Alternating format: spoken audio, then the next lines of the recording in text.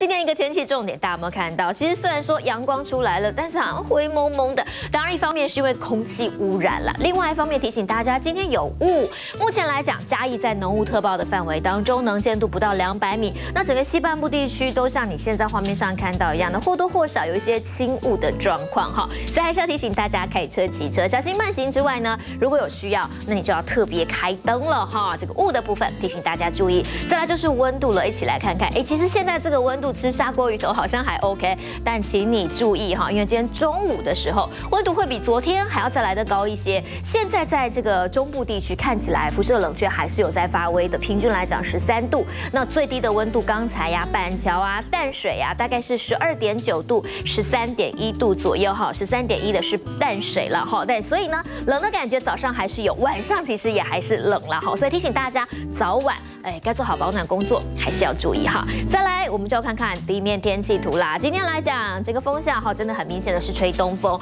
所以白天的温度就会比昨天还要再来的高一些，明天还会更热哈，因为明天吹的是东南风，所以明天搞不好真的会有一种。免热的感觉了，那星期六却突然有一个变天的转变哈，是从会有一股东北季风下来，那北部跟这个东半部地区感受上来讲会比较明显。那未来四天的整个天气预报，我们一起来看看。首先在今天的部分哈，哎，今天呢北部地区是十二到二十六度，温差好大哈，南部地区甚至上看到二十七度，也都是属于温差比较大的状况。那明天就像我刚刚提到的，其实低温的部分会比今天再回升一些，就是明天看起来辐射冷却的状况。会比较这个没有像今天这么样的明显哈，但是因为今明两天都是温暖的好天气，大家可以好好把握一下。那星期六、星期天，中南部当然都还是持续稳定，但是北部东半部地区呢，因为受到我刚刚提到一一小小东北季风的影响，星期六这一天看起来就会有一些下雨的状况。然后你看高温的部分跟前一天比起来，其实是有掉哈，平均来讲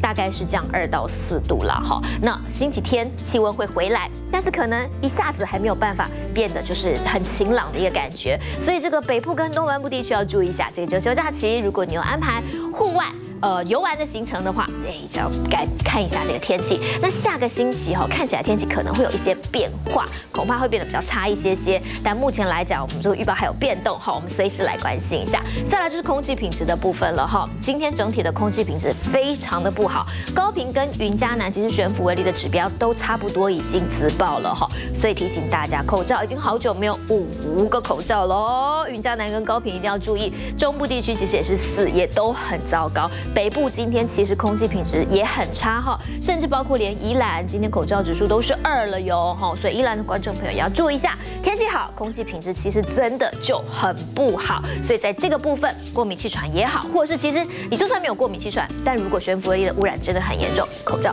还是要随身注意，在今天到明天这段时间，口罩指数特别的重要了哈，把时间赶快交还给燕莹喽。